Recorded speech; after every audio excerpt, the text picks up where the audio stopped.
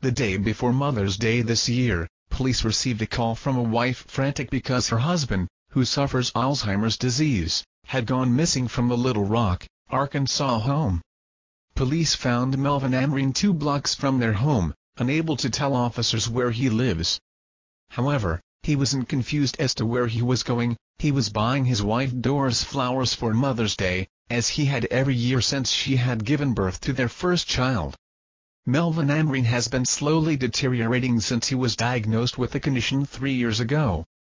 His wife has become her husband's carer, watching helplessly as the cruel disease steals her husband's memories and personality away